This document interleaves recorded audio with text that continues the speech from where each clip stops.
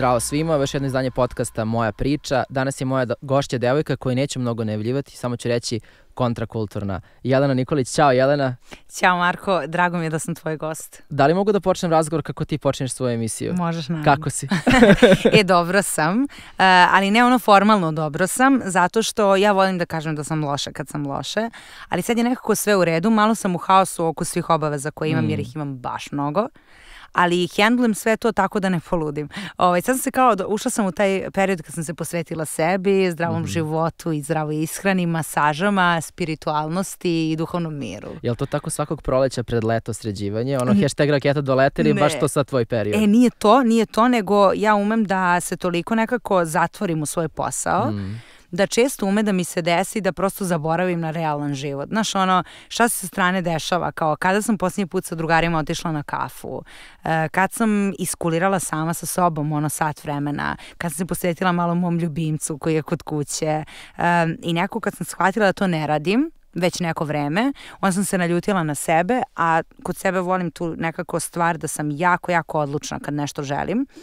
I kad sam odlučila da ću se posvetiti malo sebi, onda sam skapirala da, da, da nekako je to dobar početak za, ok, ajde kao za proleće, da mm. da krenemo nekako s proleće. I šta se radi kad skapiraš da si sebe zapostavila? Odakle krećeš? Jel praviš pisani plan šta ćeš da radiš ili ovaj, prosto zoveš, ono, zakazuješ treninge, zakazuješ frizere, zakazuješ masaže? Da, šta radiš? To, to je bukvalno trenutak Aha. kad ja odlepim i tome se svi uglavnom smeju.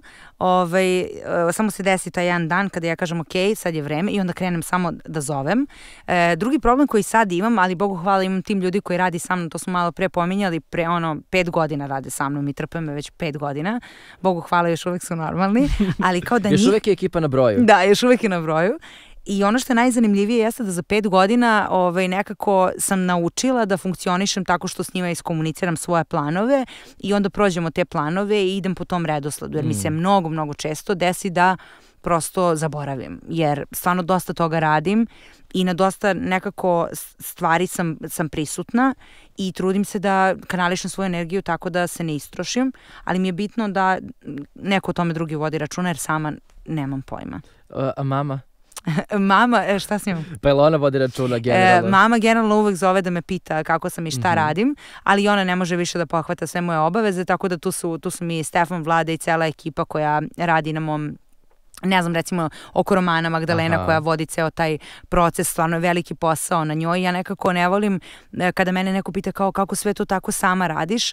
Ja kažem ok, ja jesam sama kao tu ispred vas, kao neko kao, ok, kao žena koja je kao mlada krenula mm -hmm, da se mhm, bavi mm -hmm. nekim onako svojim poslom ali stvarno imam nekako tim ljudi bez kojih to stvarno ne bi imalo smisla i ne želim nikada da ih zapostavim zato što mislim da je jako bitno da da neki mladi ljudi imaju druge mlade ljude, da imamo zajednički, zajednički cilj mm -hmm. i da mhm. idemo ka njemu, jer nekako uh, imamo jako dobre rezultate zajedno i mislim da je tajna toga zapravo ta sjajno, sjajno oformljena i dobra energija.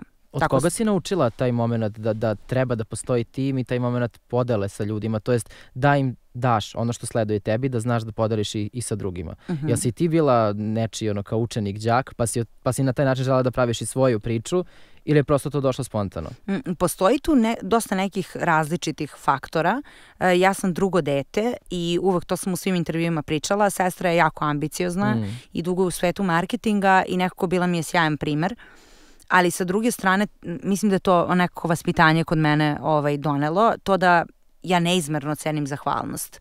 E sad, tu postoji dosta različitih stvari o kojima možemo da pričamo, koje su nekako dosta i teške za mene, dosta i nekih stvari koje su, e, rekla bih, jako pozitivne i lepe mm -hmm. u mhm. svim tim mojim osobinama ali naučena sam zahvalnosti i sad problem koji ja imam sa tim jeste da se jako teško suočavam s ljudima koji su nezahvalni i sad trudim se nekako da svojim primerom pokažem drugim ljudima koliko je to zapravo važno.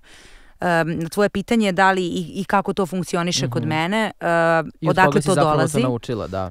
To dolazi od porodice i nekako naučeni smo da i kada imamo mnogo i kada imamo malo i kada samo neko od nas ima, da imamo svi Mm -hmm. I to je nekako kod mene najzanimljivije i, i dalje stalno to pominjem ovako kad smo u društvu, nikad u intervjuima, ali, ali u društvu često.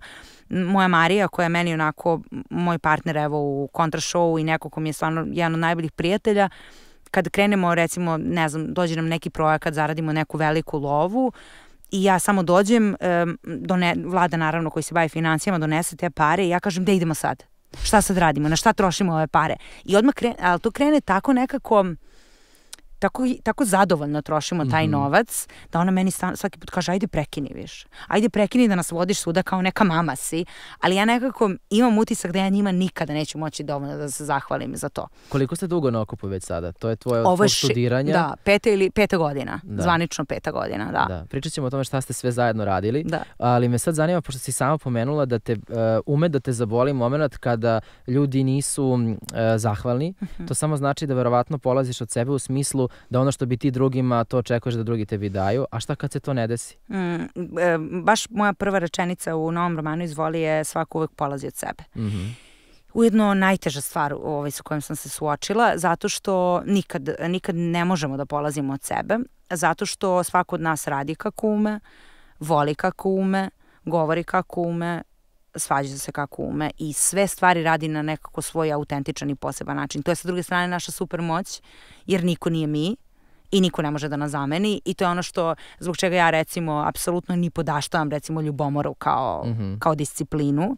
jer je ne razumem. Zbog čega bih ja e, bila ljubomorna na nekoga kada on nije ja i ja nisam on. Mislim, odakle mi prava. Mm -hmm. Ne možemo da se menjamo. Mm -hmm. I ne postoji svet u kom ja mogu da budem ti.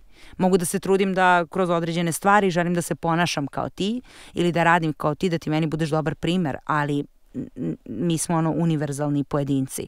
I to je nešto što je jako važno i kad to shvatiš, neko shvatiš da ne možeš da pođeš od sebe. Mm -hmm. Jer onako kako bi ti uradio, jako je redko da to urade i drugi.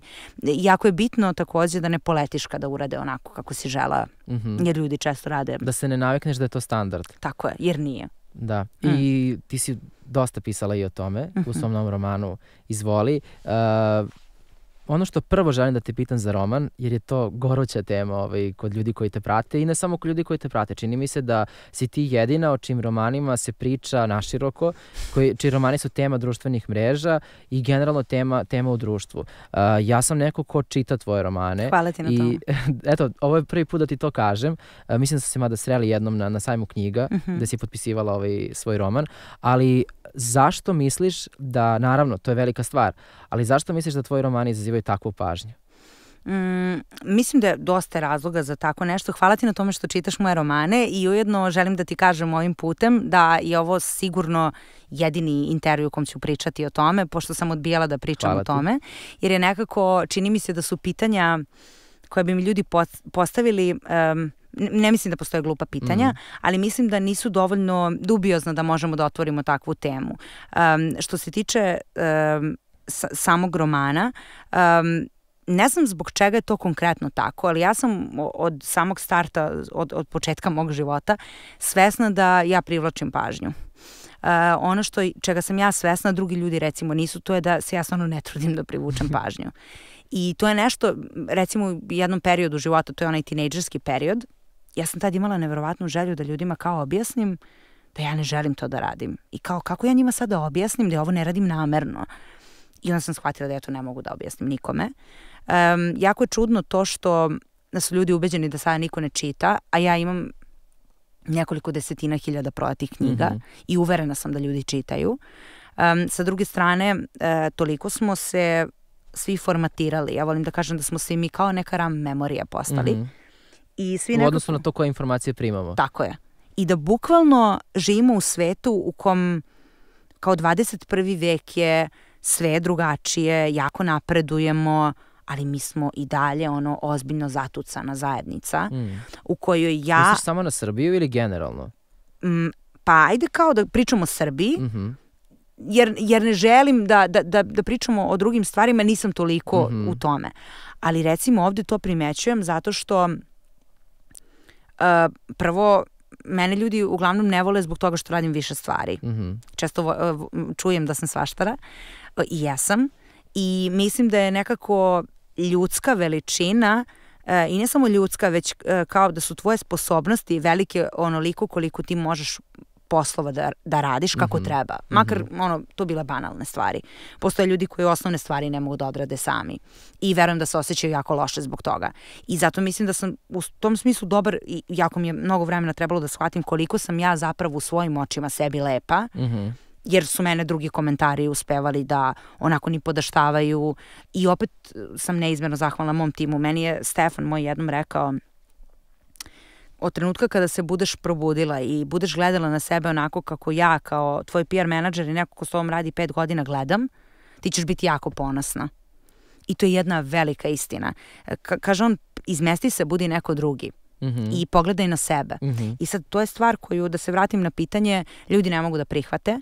Mislim da pažnju izazivam zato što um, ljudi još uvek nisu shvatili da ti možeš da um, da, da, da, da ne znam, da fotkaš uh, gole noge na Instagramu mm -hmm. i mhm. pišeš knjigu o ljubavi. Mm -hmm ljudi još uvek nisu shvatili da ti možeš da se baviš uh, social media marketingom i da pišeš knjige o ljubavi.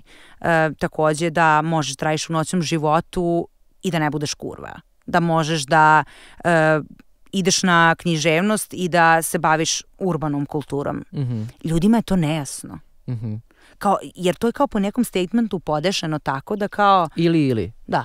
Znači, ako si ti već tu, kako žena u noćnom životu nije hostesa, pa šta i da jeste? Mhm. Mm Zašto je loše biti hostesa? Ja sam, ok, imala sam tu da kažemo sreću, bavila sam se onim što mi je profesija, radila sam kao PR menadžer, mm -hmm. ali zbog čega je, zbog čega je to um, to nužno zlo? Mm -hmm. Zašto bilo ko ko radi bilo šta mora da bude isprozivan zarad nekih drugih ljudi koji su tu profesiju na bilo koji način ugnjetavali? Da, ali kada kažem komentarisani, sad ne znam kako izgleda tvoj ono, DM na, na Instagramu, ali ovaj, znam da ljudi govore o tvojim romanima. A mhm. koliko mm -hmm. njih se zapravo tebi direktno javi? E, iskreno, dosta veliki broj ljudi meni piše i neverovatno mi je recimo da mnogo ljudi čita, uh, mnogo ljudi koji čitaju moje knjige su muškarci. Mm -hmm. uh, za neke knjige mi je to apsolutno jasno, recimo Vreme reči prilike, uh, taj roman je pisao muškarac. Ja sam je pisala mm -hmm. iz uh, prvog lica, iz muškog, mm -hmm. iz mhm. muškog lica. Uh, I dosta, dosta čitaju starije, starije žene. To mi je neverovatno. Mlade devojke mi se javljaju i kažu mi onako prelepe stvari. Uh, obožavam kada čujem da sam nekome primer. Uh, volim, volim da čujem da sam nekome uzor. I da su one nešto kroz tu knjigu naučile. I uglavnom su te poruke zaista prelepe. Ja ih sve pročitam. Mm -hmm. Nekad ne stignem na sve da odgovorim, ne zato što ne, želim da budem sad neko ko je prezauzet, već zato što stvarno nekada mi to vreme ne dozvoljava, ali uvek su to nekako um, jako motivišuće poruke koje mene stalno onako dižu i daju mi, daju mi vetar u leđa. Uh -huh. uh, mi sada govorimo u trenutku kada si ti na neki način, ok, ko zna šta te se čeka u životu, ali čini mi se da si na neki način u zenitu svoje i karijere i popularnosti, iako si jako mlada, radiš i dva jedan TV format, jedan online format, jedna vrsta emisije, pišeš knjige, dosta toga još radiš, ima, imaš različite saradnje. A ja se sećam neke 2018. godine ili kraja 2017. Uh -huh. kad mi je moja mlađa sestra koja je 98. godište uh -huh. uh, pokazala tvoj Instagram profil i bilo fazano pogledaj ovo devojka kako je cool, ona piše neke romane, ali vidi kao kako, kako dobro sve to prikazuje na, na Instagramu. I ja sam te tada zapratio i prosto sam pratio negde tvoj razvoj i bilo mi je upravo interesantno kako si uspela da uskladiš uh, savremeno doba sa nečim što možda i nije toliko savremeno. Mm -hmm. da, ne odustajemo od pisanja knjiga i definitivno uvek može književnost da bude deo svačeg života i treba da bude deo svačeg života, ali ti si se kao mlada vrlo uh, lepo i na, ne, na pravi način profilisala i okrenula onome što jesu prave vrednosti. I onda sad dođemo do toga da ti možda neko zamera ovaj, neke što druge stvari da. što, što, što kao isključuje jedno drugo. Moje pitanje jeste zapravo da li si ti svesno želela da izgradiš ono priču devojke koja je urbana, ali voli i, i nešto drugo ili je to prosto dolazilo ovaj, prirodno, prirodno kod tebe? Mm, sjajno je pitanje.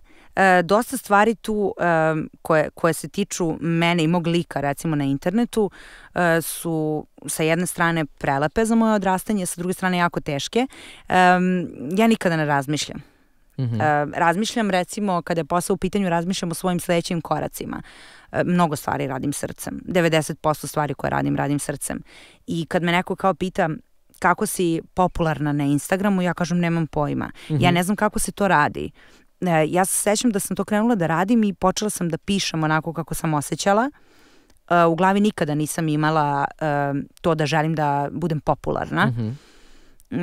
Neprestano mnogo puta sam rekla da, da sam na predavanju na predavanju jednom rekla da bih žela da me svi ljudi zapamte. Mm -hmm. I to je moj nekako jedini cilj koji imam u životu.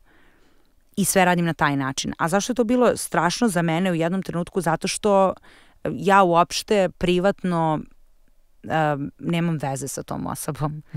Um, tako nekako volim mnogo drugačije stvari. Um, jako mi je bilo teško, to, to sam bukvalno doživljavala sam jedno vreme kontrakulturno kao mog demona. Mm -hmm i kao nešto što mene tera u one stvari uh, i one razmišljanja kojima, kojima ja ne želim da se bavim, a to je da se trudim da me neko prepozna. Jako verujem u prepoznavanje i mislim da je ono jako važno. I dešavalo mi se milion puta da nekako kažem sebi, bože, kako će neko sad ovo da pogleda na Instagramu i šta će taj neko u glavi da ima u tom trenutku, koliko sam samo drugačija od toga. Mm -hmm i to su bili nekoliko puta različiti tekstovi koje sam pisala. Od toga baš sam juče pričala eto sa mojom ekipom o tome. Jedno mi je, jedna žena me zaustavila na ulici, sa detetom je bila i rekla mi je ja tebi zavidim kako si ti jaka. Ja se sve mislim gospođa. pa ne verujete kako nisam. Um, I nekako ta kontrakulturna mi je donela to da ja nekako imam kao svoje post, neke postavljene uh, postavljene sistemske vrednosti mm -hmm. koje su u vezi sa njom, a, ako ja jako teško nosim. Mm -hmm. Jer ja uopšte nisam jaka. Ja sam samo jako hrabra i to znam.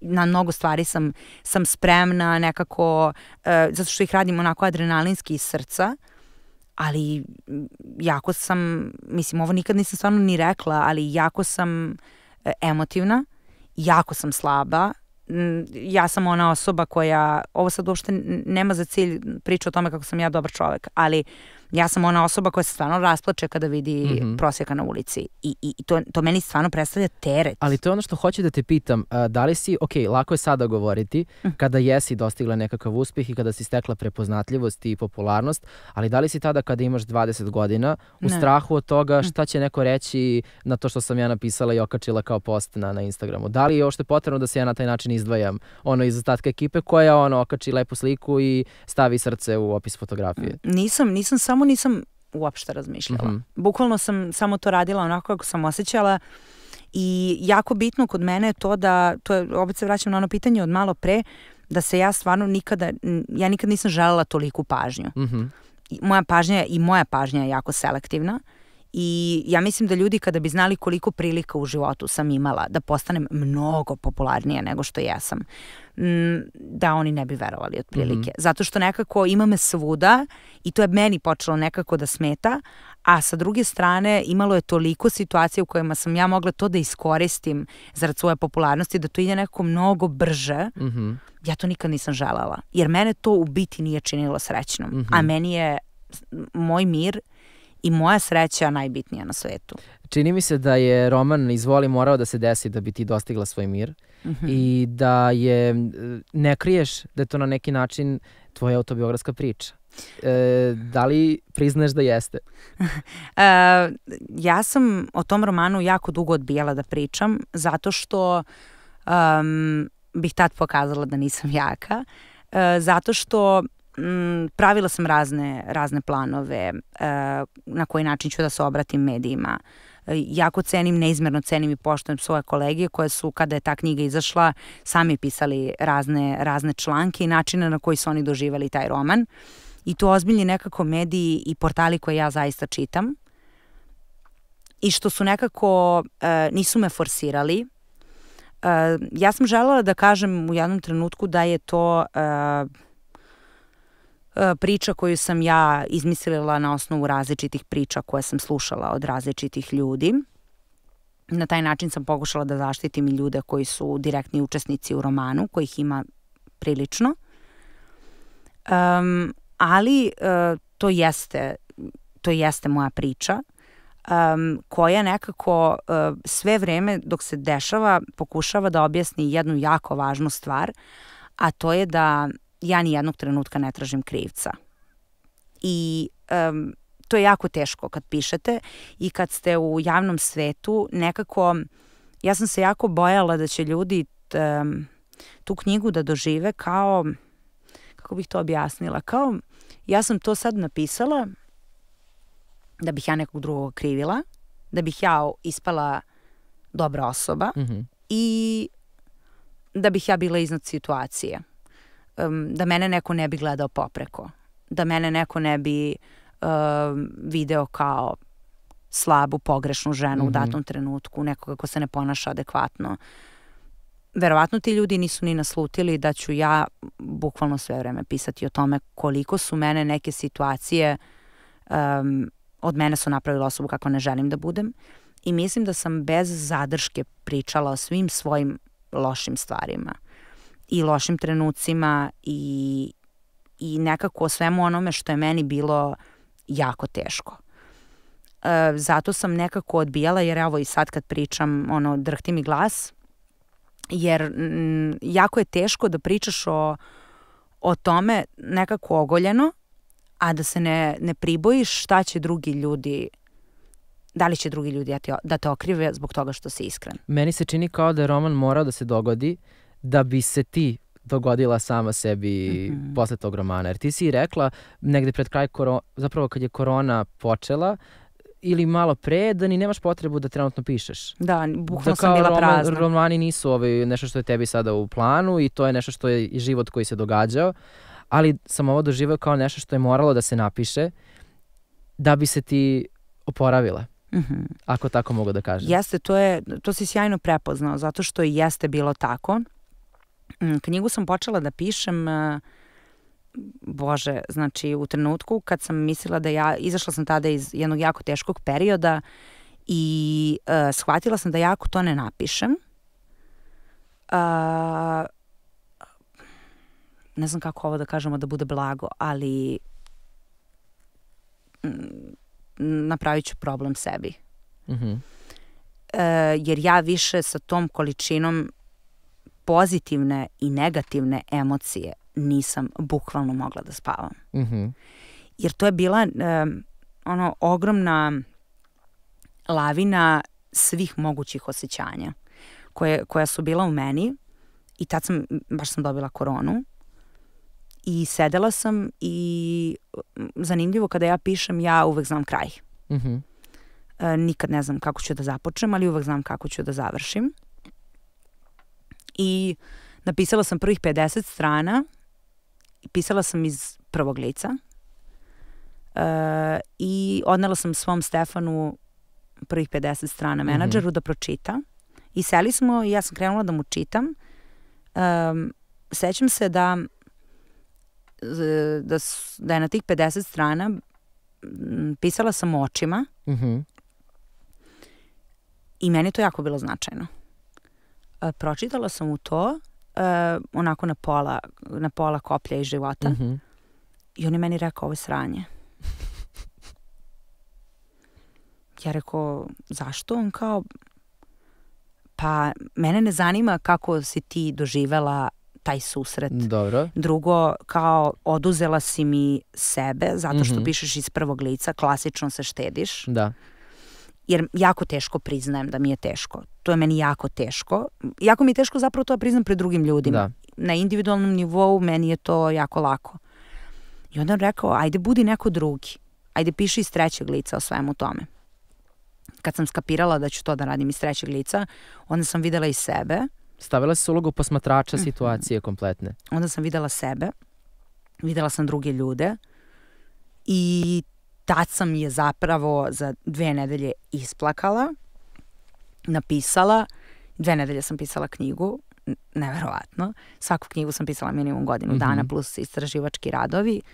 A, ovde istraživački radovi su bili zaista, godinama sam radila na njima. Sve obuhvatni što se kaže. Da, empirijski. da. I ovaj, i nekako za dve nedelje je ta knjiga bila gotova. Mm -hmm. Brzinom svetlosti sam je napisala. Ko te je naterao da je objaviš? E, to je bila najveća dilema. Mm -hmm. um, najveća dilema zato što uh, ona je prepravljena. Mm -hmm. uh, načelno prva knjiga, prva verzija knjige imala je 450 strana. Mm -hmm. Ona sad ima nekih otprilike 200. Um, ali kratili smo neke delove koji su meni bili, uh, meni je jako teško bilo da ja to podelim sa svima.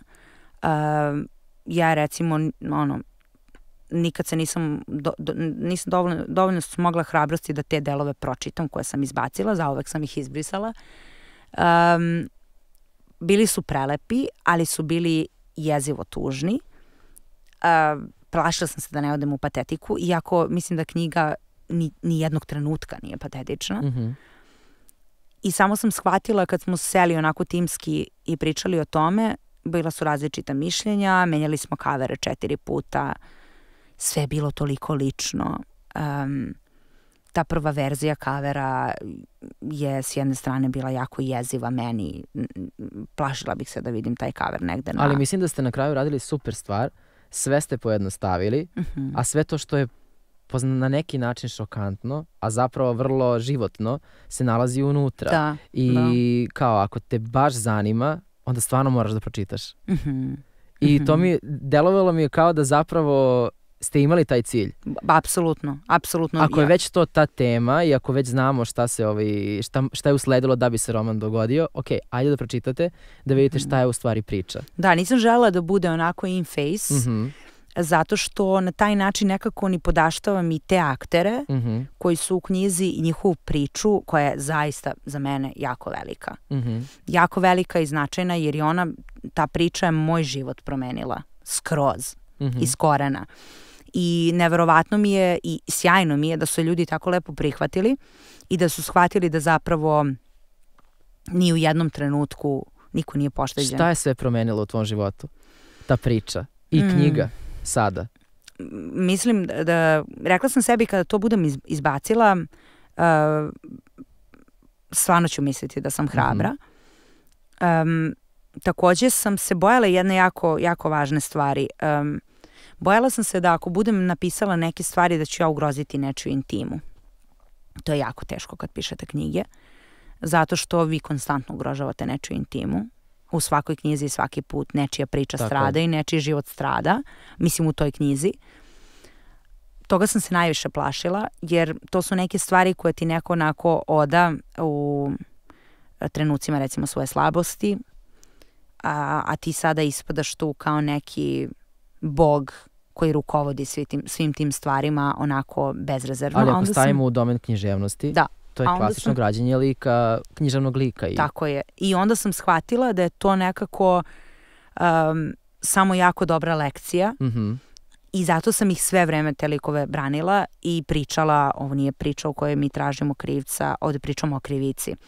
A ta krivica je zapravo uh, meni donela to da ja više ja jako dobro sada znam šta neću. Mm -hmm.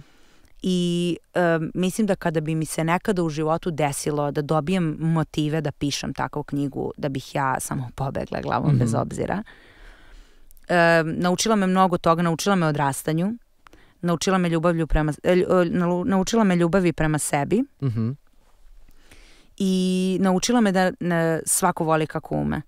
I uh, naučila me da praštam. Mm -hmm jer nekako uvek sam podsvesno bila malo zlopamtilo, a sada me naučila da praštam i da sve to nekako zavolim tako kako jeste. I što bi rekli da se, od, da se otpusti to, da prosto mora da, da se pusti da ode. Da, da, da, da, da samo prođe zato što uh, je jako dobra lekcija za, za, za te stvari, zato što sam naučila da mm, ne možeš da zameraš ljudima što te vole onako ako ti ne želiš da budeš voljen. E, I nije samo fatalna ljubav ovaj, ono što, što je tebe pomerilo u celoj priči. Ti si se susrela i sa nečim što ti nisi bila do tada. Postala si na neki način osoba koja sa sobom vukla određeno stanje, a to je, to je depresija. Sada mhm. govorim ti, ali mislim da si spremna da u javnosti govoriš o tome kako se, šta je depresija i kako se prevazilazi. Da li si ti naučila kako se prevazilazi? Jesam i to je bio jako ovaj, težak period za mene, ali... Um, Čini mi se da ljudi olako shvataju depresiju. Danas su svi, svi su jedan dan su depresivni, drugi dan je već bolje. Ja kad mi neko kaže... Mislim da je pametnije da se kaže, e, u bedaku sam danas, ajde... Da, nije mi dan. Nije mi, nije dan. mi dan. Danas mi se ne izlazi, nije mi dan. Uh, ja kad čujem depresivna sam, meni ne bude dobro, mm. jer sam u fazonu ljuti. Niste depresivni. A šta znači? E, depresija, depresija znači e, bezizlaz. Tebi to deluje stvarno kao jedan bezizlaz i jedan kraj e, u kom, ono, jedino što, što ti je logično jeste da kao tebe nema pa da svima bude lakše. Mm -hmm. Tako, neko tako razmišljaš. Čini ti se da je tvoje postojanje jako, jako, jako otežavajuće za Šta tebe. Šta je odigralo ključnu ulogu da ti izađeš iz tog stanja? Ljudi? Ljudi i pisanje. Mm -hmm. Pisanje, pisanje, pisanje, jer dok sam pisala, ja sam samo to gurala od sebe i suočavanje. E, rekla sam u knjizi hrabrost nije odsustvo straha, već želja da se sa strahom suočiš. I to je bukvalno to jer u tom trenutku ti misliš onako kad se suočiš sa nečim što ti unosi strah, imaš isti utisak kao kada preko puta tebe je recimo neka divlja životinja mm -hmm. i misliš da će te to pojesti. Kad si, kad si u depresiji onda ti misliš da je svaka potencijalna uh, u, potencijalna stvar u tvom okruženju tvoja opasnost i deluje ti kao da te svet ne želi. Mm -hmm. ja Kako sam, se živi u tim trenucima? Kako se radi u tim trenucima? Mm, ne radi se. Mm -hmm. um, meni je najteže bilo da glumim. To mi je bilo najteže, a, a morala sam. I uh, tad sam počela da shvatam jednu stvar i jako se zalažem za to i radim na tome i pokušavam da ljudima to objasnim. Um, to je ono, znaš, kad daleko bilo neko tragično izgubi svoj život i ti onda čuješ ono, pa kako to ona je stalno bila nasmena? Mm -hmm. To je veliki problem. Um, nasmejani ljudi nisu nužno nedepresivni ljudi. Um, biti nasmejan nekada je uh, stvar kurtoazije, nekada je stvar vaspitanja, mm -hmm. nekada je stvar uh, ljubavi prema prirodi. Mm -hmm. Biti nasmejan ne znači nužno uh, biti srećan i to je jako, jako važno da se objasni ljudima zato što sam ja u trenucima kada sam bila u depresiji ljudima delovala apsolutno spokojno, mirno i srećno. Niko od članova moje porodice i moje, u mojoj okolini, u mom okruženju nije znao da sam ja u mhm. depresiji. I kako se onda događa prevencija? Kao društvo, kako možemo da reagujemo, da sprečimo takve stvari? Ja sam veliki ljubitelj psihoterapije. Mm -hmm. Ja na psihoterapiju idem već 10 godina. Prevazila sam, prevazilazila sam svoje tinejdžerske probleme kod moje terapeutkinje, e, tako da prolazila smo i kroz to zajedno, takođe i kroz stresove na poslu, pošto se bavim takvim poslom da sam stalno nekako pod nekim stresom i rad, rad sa ljudima me dosta iscrpeo, pa sam radila i na tome, trenirala sam, trenirala sam svoje strpljenje, Uh, isto tako i problemi u, problemi u komunikaciji, u okviru moje ekipe, u okviru mene i recimo mene u partnerskom odnosu. Mm -hmm E, mnoge stvari sam rešavala psihoterapijom i to sam rešila psihoterapijom. E, nekako drago mi je da nisam toliko dubiozno ušla u čitav taj proces depresije zato što sam ja u depresiji našla nešto što na mene utiče jako dobro, a to je pisanje. Mm -hmm. I mislim da je neverovatan dar za svakog ko želi da se bavi nekom vrstom umetnosti da e, svoje loše stanje iskoristi zarad umetnosti, zato što to donosi nekako mir i spokoj i uh, ispunjavate i uh, donosi uvek najbolje stvari.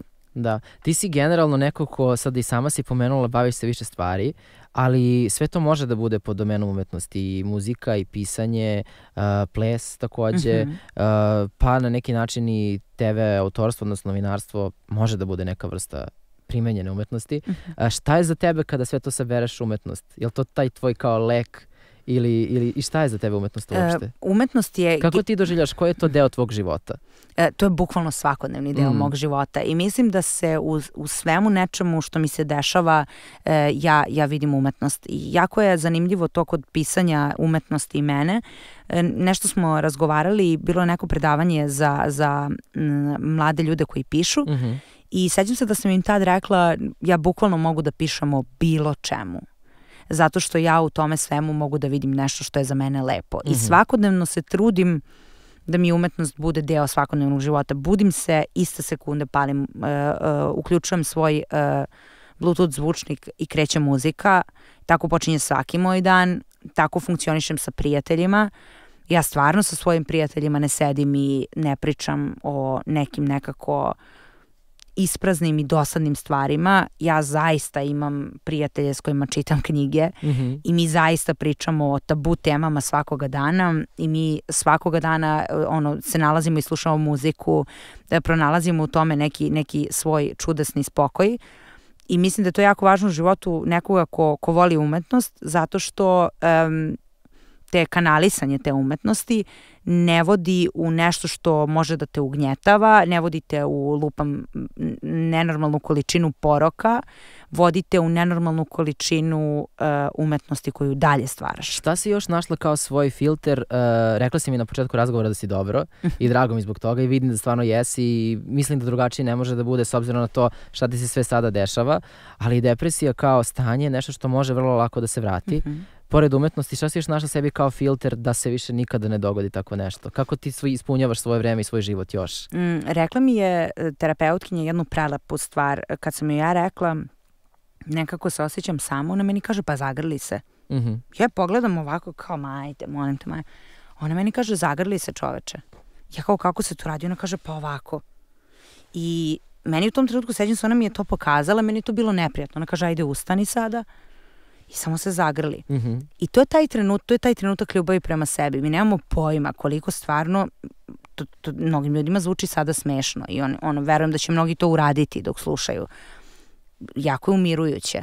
Ljubav prema sebi, ljubav prema drugim ljudima i sve ono u čemu ti do tog trenutka kada si u depresiji nisi video ljubav, a sve to ljubav. Mm -hmm. Porodica, prijatelji. Uh, nenormalna je popularnost tvoje emisije, uh, net kulturno. Uh, zapravo online formata, da li si imala potrebu da nekome od sagovornika kažeš zagrli se ili da ga ti zagrliš, da bi bio bolje? Jesam, jesam i to se i desilo. Mm -hmm. um, I sjajno prolazi e, emisija na to, e, time, time se jako ponosim, ali um, neverovatno je koliko se ja s tim ljudima zaista zbližim tokom mm -hmm. svake emisije. I neverovatno je da stvarno skoro svaka osoba s kojom sam radila intervju i ja e, ako ih nisam poznavala, mali je broj tih ljudi koje nisam poznavala, ali evo sada ih poznajem mm -hmm. i svakodnevno se čujem sa njima. Mene su mnogi iznenadili. Takođe imalo, imalo je baš tih momenta gde se, kamere su se isključile i ja sam bila u fazonu mm -hmm. dođi ja te zagrlim. Pričali smo o raznoraznim stvarima, nije bilo tabua, nije bilo ničega što bi nas nekako ugnjetavalo. Uh, da, bi, da to funkcioniše tako kako funkcioniše, a to je spontano, mm -hmm. stvarno, realno.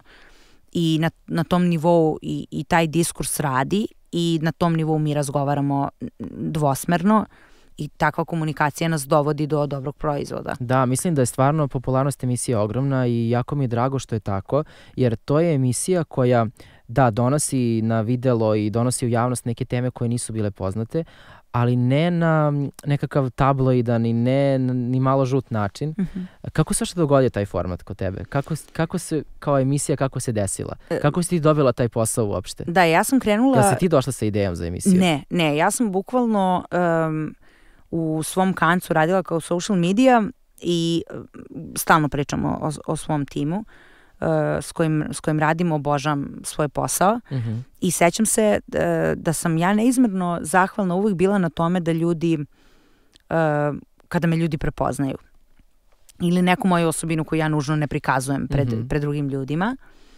Ja sam tada došla tu kao neko ko je već bio izgrađen na određen način, znači ja sam postojala i pre toga i to je okej okay, kao meni bilo jako značajno zato što je meni jako važno da ja imam već nešto svoje kako mm -hmm. bih mhm. mogla da se širim. Pravi ljudi koji su radili sa mnom su to prepoznali i sećam se prvog sastanka, došli smo, zaseli smo tu za sto i bilo je kao, Jelena, ćeš da dobiješ emisiju kao da radiš. Ja kažem, pa hoću. A ja ne volim da kažem ne u poslu, meni je to verovatno zato radim i nedeljom. Da. Um, ali samo sam rekla slušam i plan je bio da pr prvi put ljude sa, sa neta vidimo na TV-u i online mhm. -huh. i zbog toga je emisija prikazivana na, na TV-u jedno vreme. Um, zato što smo mislili da je potrebno da te mlade ljude neko čuje i da internet postane deo televizijskog programa, mhm. -huh. zato što je nešto što stvarno je značajno i postoji mnogo, mnogo talentovanih mladih ljudi. Mi smo se tako dogovorili, to je bio naš brainstorming koji je trajao nekih 15 minuta Ja sam rekla kad počinjemo, rekli su mi u petak, to je bila sreda.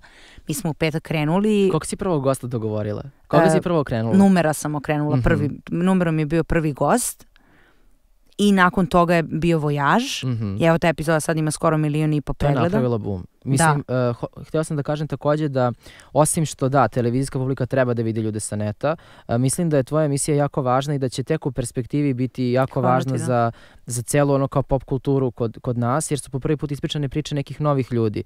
Događala se jedna nova generacija i muzičara i producenata i uopšte novih lica na našoj javnoj sceni, mm -hmm. a to mhm. niko nima da zabeleži. Čini se kao da ono, stariji autori nisu imali sluha za to ili im nije bilo mhm. zanimljivo, a da si ti neko ko se dogodio i ko je ono kao glas generacije bio zapravo.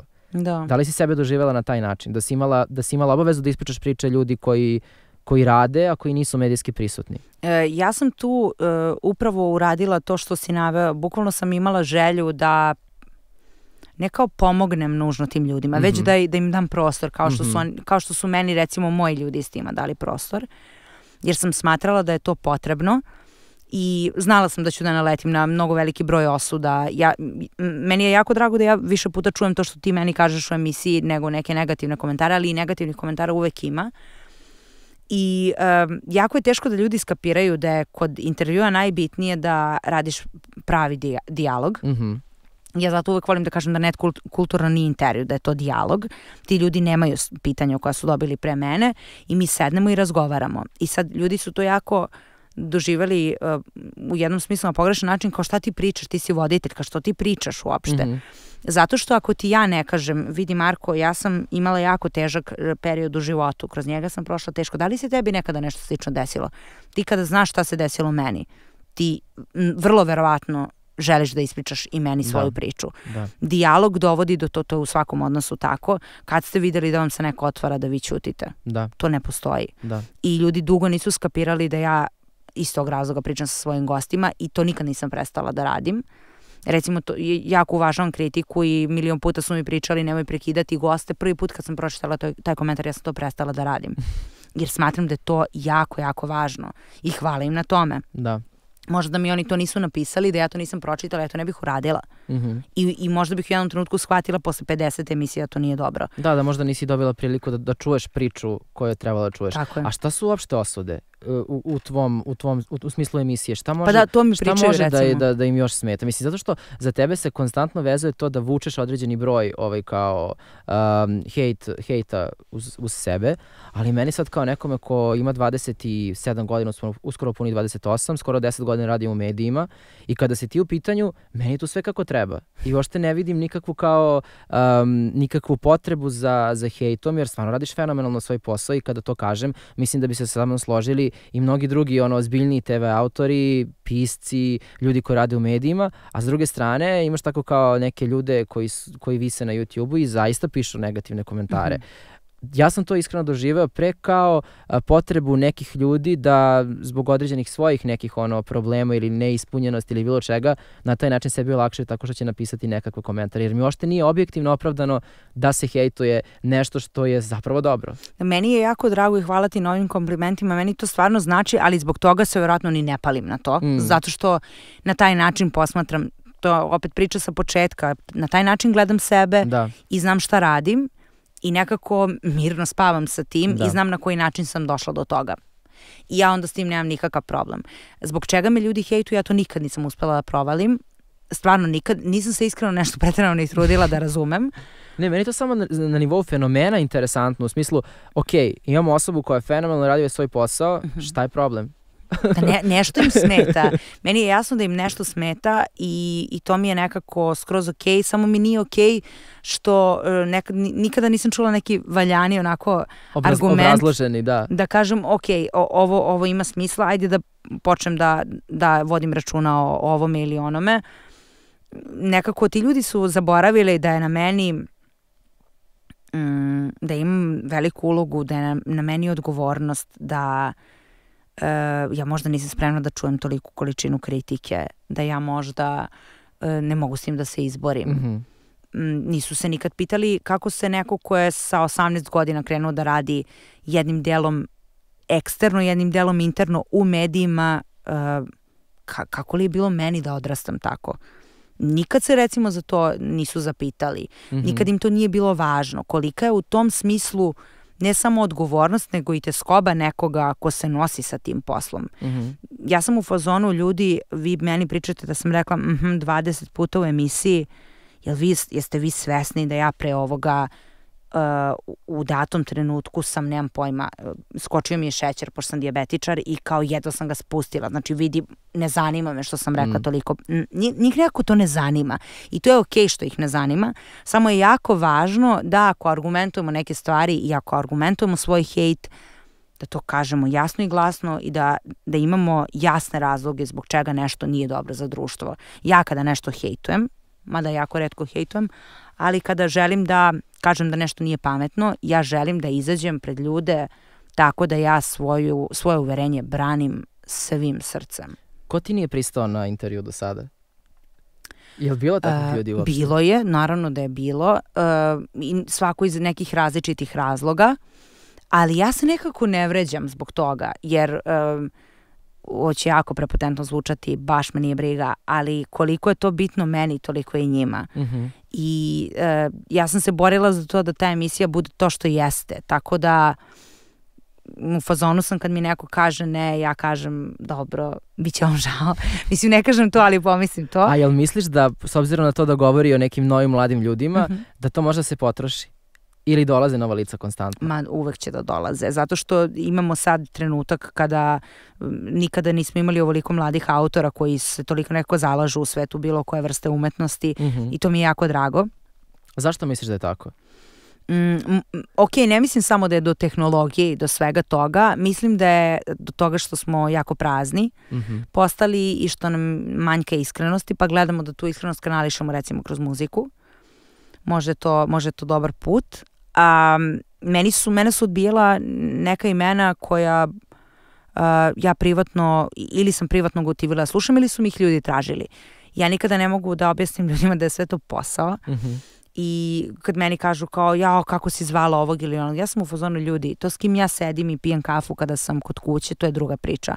Ovo je moj posao, je moj posao od koga, od kog ja živim i, na, i od kog zarađujem i kako funkcionišem. Izvini, ali meni je super što mi ništa od svega toga, iako znam naravno pozadinsku priču, znam koliko je sve ozbiljno i kako izgleda rad jednog novinara i, TV, i autora emisije, ali meni ništa to ne izgleda kao da je tvoj posao. Mm -hmm. Pa da, može zato tako i neposredno i lepo i zanimljivo. I to mi je stvarno ceo moment. Super mi je što ne izgleda kao da se ti nešto preterano mučiš, u najpozitivnijem smislu to kažem, da to napraviš, nego da to sve vreme kao dolazi i da ti to živiš Tako i to je. se događa i prosto sluškuješ oko sebe ovaj, kao i ko će da ti bude sagovornik, čuješ Kako negde, da mu priđem, do njega, da, da, da, da. da. Na I, tome najviše radim. I, upravo to, jel, jel to nešto što, što si i videla kod sebe kao kvalitet, da. sebe kao, kao radnika u medijima? Da, psihologija me interesuje mm -hmm. i na taj način približavam se svakome, mm -hmm. ono s kim razgovaram, jer želim da otkrijem tako neke stvari. Recimo klinac koji me odbio za intervju, kog sam zvala na početku, uh, Uh, on me odbio za intervju, rekao mi je da, da ima neki drugi intervju. Ja recimo nikad ne, nisam njemu rekao, ja šta ćeš samo da pričaš. A sve se mislim, pa bolje ti je da dođeš da razgovaraš sa mnom, jer ja toliko slušam tvoje muzike u tom trenutku, slušam tvoju muziku, priči sam i znam koliko te ljudi prati, znam šta ću da te pitam. Da. I znam šta me kod tebe nervira. To je jako važno kod mojih sagovornika. Ja znam šta me kod tebe nervira mm -hmm. i hoću da te pitam zbog čega ti to radiš. Jer da. svako od nas ima odbrambeni mehanizam možda ja ljude nerviram zbog toga što zapravo nisam jaka. Mm -hmm. Jer moj odbrambeni mehanizam je da budem to. Mm -hmm. Ja to uopšte nisam. I to je prelepo. Pričati o tome da, da to zapravo nisi, to je prelepo. Mm -hmm. A, recimo, klinac nije došao, ne znam da Vito me isto odbio, njega ne slušam privatno, ali ljudi ga žele i ja sam samo žela prosto da pozovem te ljude. Mnogo je ljudi koji su me odbili, ali recimo velika imena koja sam pozvala, ne bih da imenujem koje, ali bilo je prelepo. Ja sam ga pozvala i rekla sam mu, volela bih da dođeš u emisiju, on je meni odgovorio, ja brate ne smem. To je neko ko se 20 godina bavi um, javnim poslom i ko je jako cenjen u svom poslu. Ne smem zbog tebe. Kao ja ne smem. Kao ja znam da si ti dosta, e, se na, sećam se tačno toga, ja znam da si ti dosta naslušala muzike Aha. i da znaš dosta stvari koje imaju veze sa tim i da znaš čitav moj put pitaćeš me za neke kikseve, ja to ne mogu. I ja sam rekla respekt, to je sve okej. Okay. Da. Ali to, to su ljudi, ljudi koji su veliki, oni se tako ponašaju. Da. Takođe i ono, klincu isto niš, ništa nisam zamerila, momak je rekao da ne želi da daje intervjue i to je njegov način. Ali ja isto tako, to je moja, ja sam kao ono večiti kalimero, borim se za pravdu. Ja sam tad njemu rekla, ali to ne može da ti bude za uvek put. Jer to je ono, to toliko je pase. Da. Toliko je pase. Ono, Sija nikome nije bila interesantna u jednom trenutku, jer je, više nas je smorila, ono super perika, sve okej. Okay. Aj malo nam daj duše. Mm ljudi žele dušu i to je ono što, sa čim se uvek uh, tučemo kad je u pitanju kao tabloidno novinarstvo i kao in, zalaženje u intimu. Duša, ne intima, duša. Znači, kako da ne odemo u... Upravo to, kako ti ne odlaziš u, tabloid, u, ono, u tabloidne stvari? Zato što, e, recimo, sve što može da bude, što, što je nužno tabloidno, to je sa kim neko spava, na koji način spava, šta voli, šta ga zadovoljava u životu. Isto tako možemo da pričamo o duši. Mm -hmm samo ćemo drugačije da formulišemo i bit će isto toliko senzacionalno i lepo, a neće biti jeftino. Mm -hmm. Jer svi mi volimo iste stvari, mislim iste, svi mi volimo stvari koje naše telo, um i dušu čine zadovoljnim. Da. I onda kad pričaš o tome, onda ti je nekako neverovatno ti da kao neko može da priča o tome. I to nas sve zanima, zato što je to u jednom trenutku god da smo u svetu u kom svi pričaju o svemu, to je postalo nekako nemoguće. Da. Kao tabloid, tabloidno i kao tabuje. I nakon svega toga što, što eto sad kao, uh, postaješ jako popularni autor online izdanja, odnosno YouTube emisije, uh, net kulturno, tvoji romani se komentarišu, uh, ti dobijaš i svoju TV emisiju i grad postaje potpuno ono kao oblepljen tvojim billboardima, billboardima s tvojim likom. Uh, da li se ti u tom trenutku osjećaš kao da si uspela ili je, mislim, kako si još doživjela to? Da li je to ovaj, za tebe bio taj trenutak kao, ok, sad se događa sve ono što sam ja želela da se desi? Ja jesam kroz to ostvarila svoj san, mm -hmm. um, ali ja nekako se ne ložim. Ja se ne ložim u tom, ja ne volim da poletim. Dobro. Samo sam u fazonu ovo se desilo kao posledica mog rada, uh, koji je jako iskren i jako ulažem u njega, ali ja sad neću e, poleteti i misliti da sam ja zbog ovoga uspela. Da li si pre, 18, pre 10 godina kada si imala 18 godina, odnosno Koliko, malo manje malo od manje, da, ja sam mhm. -huh. tada imao.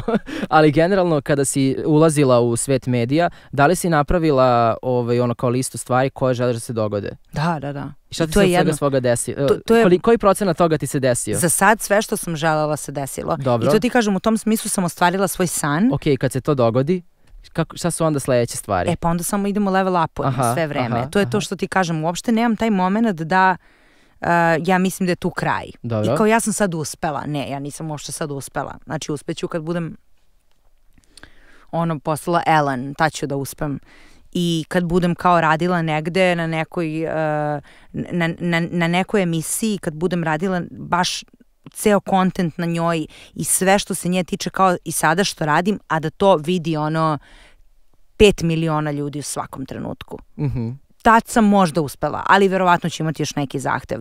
Mene je ambicija tera uh, nerealno mnogo da radim sve što radim i uh, ona me nekako tera i da se umaram, ali me tera da konstantno imam više ciljeve. Prelepo je ovo sve što mi se dešava, neizmjerno sam zahvalna i Bogu i ljudima s kojima radim na ovoj šansi i prilici i mislim da je to e, mali deo onoga što ja mogu i da možemo mnogo više i da svakog dana želimo sve više i divno je što radim sa ljudima koji žele više.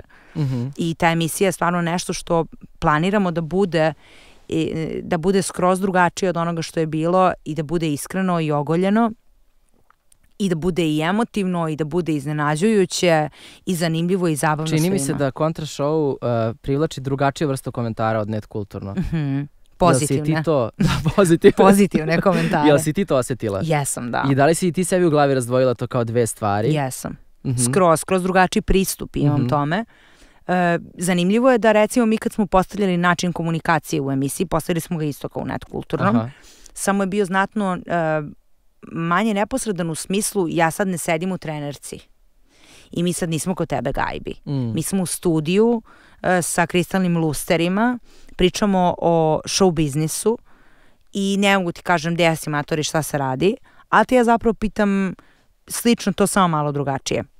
u tom smislu drugačija publika. Uh, sjajno su prihvatili i mislim da ljudima u Srbiji nedostaje late night show koji radi žena. Mm -hmm. Jer kao u jednom trenutku smo, toliko smo se formatirali da je bilo kao, pa ne možeš da budeš duhovit ako si žena. Ja sam u zonu ljudi. Pa Kako si ti doživjela? Jesi to doživjela kao nekakvo ono kao ograničenje u odnosu na tebe kao kao autora Apsolutno. i kako si se s tim izborila? Je li opet bilo slučajno da se kao priča pa da se dogodi emisija ili si rekla, ok ljudi, vidite šta sam napravila, dajte mi sad noć, noćni program? Meni su, meni su bukvalno ista ekipa koja, mm. -hmm. koja je sa mnom radila na Net Kulturnom, samo su me pozvali naši uh, kreativci i čitava ekipa i nadređeni ljudi. Hajde da radimo večernji show koji vode Mhm. žene. Ja sam bila u fuzonu, hajde, odmah možemo da krenemo. I tako smo krenuli da radimo na tome. Ja sam odlučila da moj sidekick bude Marija, jer ona je neko ko mi je u životu sidekick Dobro. i neko ko, nekako kada ja e, ne dam gol, da ga ona i to bude strava i to nam je u život, kroz život se tako vodimo. Znači, ako jednoj ne upali, upalit će drugoj i sve će biti tako okej. Mi to gledamo kao neko međusobno pomaganje. Znaš, ono kao pomogneš prijatelju u nevolji, skloniš ga e, kad si na pešačkom da, da, te ne da, udari da, tramvaj. Da, da. E, bukvalno tako radimo tu emisiju i zato, je- zato i ona ov- ovako nekako ima veliki broj pozitivnih komentara, zato su ljudi oduševljeni, jer ljudi su se odvikli od toga da su žene duhovite. Ja sam u fazonu šta vam je, ljudi, ja na harizmu sve u životu dobijam, znaš, ono, harizma i duhovitost me kao drža, udržavaju u životu. I onda smo odlučile smo da kao pokažemo da je i ženski humor totalno okej i da je onako malo drugačiji pristup i ne, mislim da smo to odradili na, na sjajan način i da tek pripremamo dosta lepih Da stvari. li ti se javljaju neke starije kolege? Neki TV autori koji ono, uz koje smo mi odrastali? Ne, Zašto? ne znam. Volela bih da... da ih- Koga bi volala da čuješ? Mislim, čije mišljenje bi ceniš zapravo od svih ljudi koje gledamo decenijama na televiziji? Mm, Postoji mnogo autora za koje smatram da su jako, jako kvalitetni. Jako, jako. Ove, to su najrazličitiji ljudi. Um, obožavam Vesnu Dedić. E, jako cenim sve što je, odra, e, što, sve što je odradila u, u novinarskom svetu i mislim da je ta njena emisija e, nekako pres, predstavlja temelj nekih stvari koje, na kojima smo mi kasnije radili. Mhm. Vesnu jako cenim. Uh, Jovanu Joksimović jako cenim. Sa druge strane Jovana Memedovića obožavam. Mhm. To su nekako svi ljudi uz koje sam ja, uh, zbog kojih sam ja kod kuće bila u određenom trenutku ispred svog uh, svog uh, televizora i gledala sve ono što su oni davali nama. Ali recimo nekako podsvesno mislim da kada bih sela sa njima i kada bih im objasnila koliko je to meni bilo značajno, da bi sigurna sam i oni sve to, to su sve imena recimo za koje ja mislim da bi me uvek pohvalila da me poznaju Da. i da su imale, imali To sam te da te iskustvo pitam, da li bi da osjetiš potrebu bila spremna da ono kao odeš, ne znam, zakucaš na vrata Vesne Dedić i kažeš je Vesna, radim to, šta misliš ti o tome? Da, Mhm. ja sam uvek spremna na tako nešto. Posebno ako to e, meni u datom trenutku daje nešto zbog čega ja živim, a to je motivacija.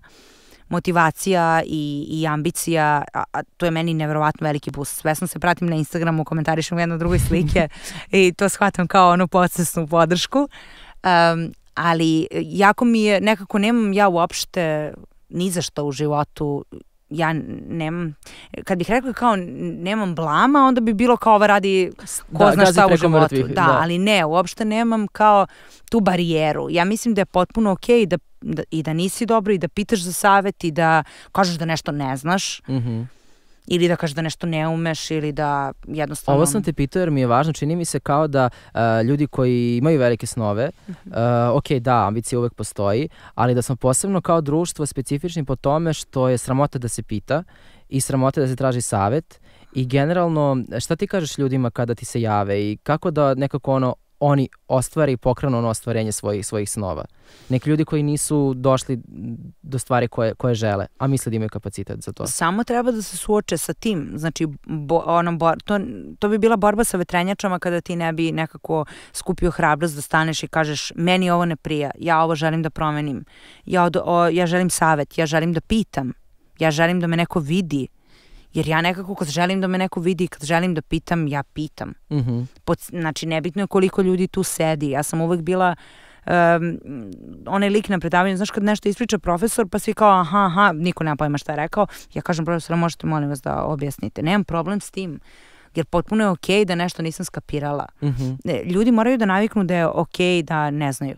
Mhm. I onda nekako sve bude lakše i da ne znaju i da nisu u toku bez obzira na to što imamo toliko različitih informacija koje primamo svakoga dana, nekako imaš pravo da ne znaš. Da, a šta je to, uh, govorili smo o tebi, govorili smo o komentarima koje dobiješ, o romanu, hvala ti puno na tome, ali generalno kao društvo i kao zajednica, kao grad i kao zemlja, šta, šta radimo loše, a može da bude vrlo lako da bude bolje? Mm, to je sjajno pitanje i treba mi malo vremena da razmislim, ali mislim da mm, mislim da ko komunikacija nam je ono baš u problemu. Mm. Skoro sam isto baš nešto pisala na Instagramu o tome. Um, mislim da se ljudi jako malo prepoznaju. Mislim da je nekako postalo kao loše da te neko upozna. Mm -hmm. A upoznati nekoga i poznavati sve vrline i mane nekog pojedinca, sve ili određeni broj vrlina i mana koje neko ima, zapravo uh, pokazuje koliko smo mi veliki ljudi jer kada damo šansu i sebi i drugima da ih upoznamo, tek tada shvatamo koliko mi umemo da budemo pogrešni, koliko mi umemo da budemo pravi, koliko nekad umemo da grešimo. Mm -hmm. Jer kada ti neko prizna svoje mane, ti tek onda shvatiš da recimo i ti imaš nekoliko mana koje sebi ne želiš ono da, da, da verbalizuješ. Mm. Komunikacija nam je ozbiljno, u ozbiljnom problemu postavlja se kao da smo nekako svi isti, uh -huh. a zapravo je previše različitosti, a premalo dijaloga. Premalo dijaloga i to je nešto što nam definitivno nedostaje, zato što treba dati, dati šansu ljudima da se upoznaju i treba biti iskren. Mm. Biti iskren nužno znači uh, bukvalno pričati istinu. To ljudi ne mogu da skontaju. Znači, Uh, baš mi je pre neki dan pričao mi drugar koji imao neko, neko iskustvo koje je za njega bilo jako teško i on meni kaže ja to nikome nisam mogao da kažem. Ja kažem zbog čega? On kao pa previše je nekako čudno. Ja kažem ništa nije čudno. Kada ljudi kažu to prestaje da bude čudno. Šta god da izgovoriš i verbalizuješ, makar to bilo totalno banalno, bizarno, možda tebi glupo, to je u tom trenutku prestalo da bude čudno mislim da smo zaboravili da budemo iskreni i da smo prestali da komuniciramo i da je mnogo veliki broj nesrećnih mladih ljudi. Jer ono, jako Jel je važno... se javljaju? Da, svakodnevno mi se javljaju i uh, to, to, to mi je s jedne strane neverovatno mi znači, a sa druge strane ponovo ono odgovornost i, i, i ne, nekako obaveza Um, ali ja sam nekako svestila kod sebe da je meni jako bitno da, da ja budem srećna i da na taj način budem primer njima. Kako mm -hmm. se mhm. to, kako se sreća gradi, a gradi se ono iskrenim putem. To je, to je baš lepo što radiš. Nisam pričala o tvojoj muzici, to mi je mhm. super pozitivna tema. Uh, objavila si uh, svoj single. Zašto si stala? Uh, ja u tom trenutku kada sam to objavila, baš sam bila u haosu i, ovaj, i tada sam nekako preživljala i taj internet linč ovaj, koji mi se desio, bože, sače nikad mi nije bilo jasno zbog čega. Uh, desilo mi se da me jedna devojka bukvalno uh, ugnjetavala na internetu. U kom I da smislu? To, m, pa ta devojka je lajvovala recimo, slagaću te, ali tipa mesec dana i pričala samo o meni. Uh, samo da razumemo koliko je ovaj problem veliki. Ja tu devojku nikad u životu nisam videla.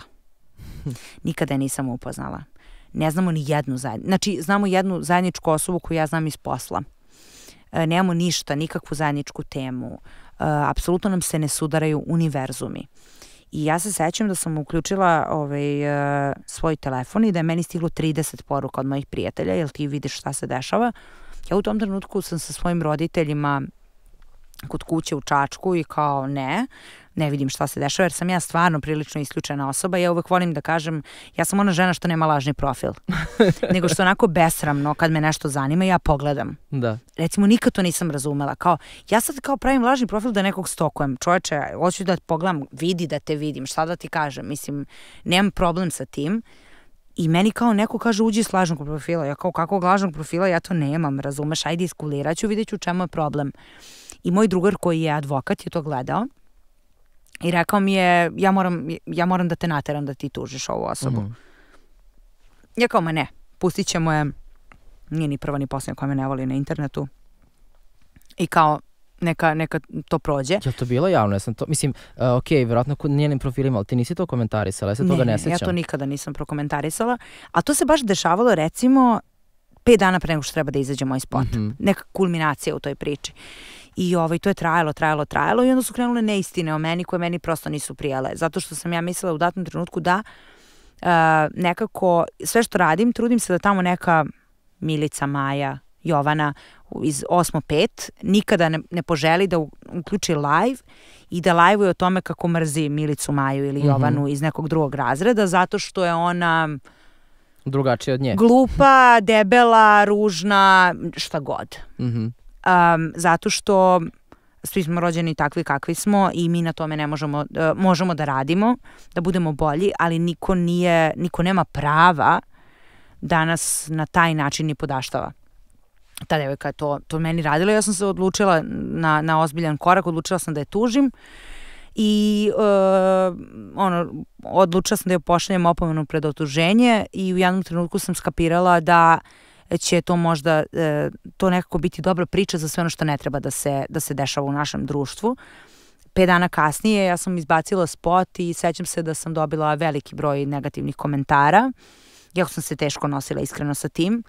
Uh, jer uh, mislila sam da ću se čitavog života baviti muzikom. Išla sam na balet na latinoameričke plesove 12 godina. Išla sam u muzičku školu, spremala sam se za srednju muzičku. Sve to sam batalila zbog manjka samopouzdanja, verovao ili ne na kom sam jako radila i kao klinka, pošto sam baš imala problem sa tim. I mislila sam da ja u tome nikada neću biti dovoljno dobra. Sve što sam radila bili su back vokali koje nikada nisam potpisivala. Pisala sam tekstove za pesme koje su ozbiljni hitovi koje nikada nisam potpisala, koje sam wow, prodala kolegama. Wow, to ne znam o tebi. Da, koje, koje sam dala kolegama ovaj, sa ono jako, jako poznatim kolegama koji su nekako... Kad ćeš nam otkriti koje su to pesme? Ja mislim da nikada, zato što mi je to neka vrsta dogovora i odlučila sam da to nekako da, se, da na to budem ponosna, ali da prosto to bude jedan deo mene. Muzika je moja velika ljubav. Ja sam baš naslušana muzike i uvek se smejem zbog toga što me moji prijatelji koji se bave bilo kojom vrstom Aha. muzike uvek zovu u studio. Mm -hmm. Ja u svom telefonu imam de moje, ono, naj... Uh, čudnije, najčudnijeg spoja ljudi ikada. Znači, preko folkera, pop ljudi, uh, repera, uh, uvek me zovu u studio i meni je, izuzetno mi je drago i velika mi je čast kada me toliko veliki ljudi pozovu da, da bih ja nešto čula, da, mi, da im kažem da li, je, da, da li je neko dobro otpevao, da li je kik na pravo mesto i da li je plugin dobar ili nije dobar. Mm -hmm. I to mi je jako zanimljivo i mnogo vremena sam... I ti se toliko sam... dobro razumeš u sve to Da li su te sada ovakvi komentari obeshrabrili da prestaneš da se baviš muzikom jesu, kao, jer... kao glavni, kao, flo, kao frontman uh mhm. -huh. ili ne? E, jesu, zato što ja nekako mislim da e, je to veliki teret za mene, da ja s tim ne bih prosto mogla da se nosim, a ja ne želim da radim protiv sebe.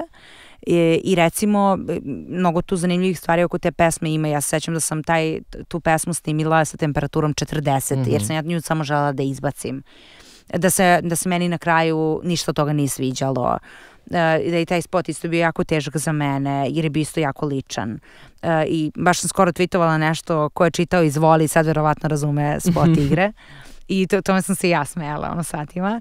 Um, tako da to je bilo jako lično, ali recimo da, moj, da moji koje imam, koji su iz studija u pola noći snimani, koji su nekako 80. R&B, ja bukvalno imam dva albuma nasnimljena, uh, i to je, toliko, meni, to je recimo meni toliko dobro i kao, ali to kao stoji negde u nekoj fioci i kao nekaga kad bude pravi trenutak ja ću to da uradim. Skoro sam srela a, Alena Sakića, mog kolegu iz labela iz Balkatona, mm -hmm. sam mi rekao crnjo moj, ajde molim te u studiju da radimo, znaš. Vola bih da ovo bude kao kada si odustajala od romana. Da, da, da. I da ja zapravo isto, da. za, za godinu dana dođeš ovde sledećeg aprila da pričamo o muzici. sledećeg maja da pričamo o, o muzici i da to bude nešto što će biti nastavak neke tvoje priče zato što mislim da možeš da daš i u tom, i u tom smeru dosta. Mislim, odlično zvučiš. A, hvala ti. Odlično hvala zvučiš i generalno ono što si nam dala kroz jedan single, meni je sasvim ok za debitanski single. hvala ti, hvala ti. Uh, za kraj razgovora volio bih samo da te pitam, uh, ono što nismo pričali u vezi sa romanom, uh mhm. -huh. a to je, možda da mi odgovoriš ili ne, da li su se javili oni čijih se, se poruka pribojavala?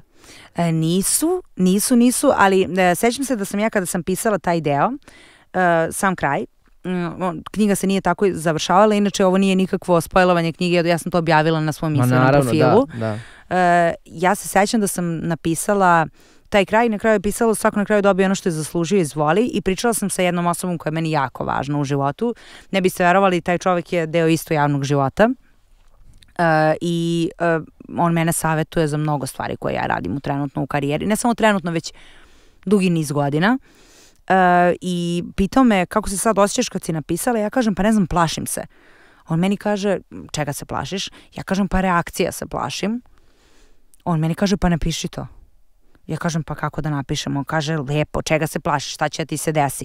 Ja kažem njemu, pa potencijalno može da mi se desi da mi neko lupa na vrata kao što mi je lupao na vrata, da me neko maltretira kao što me maltretirao.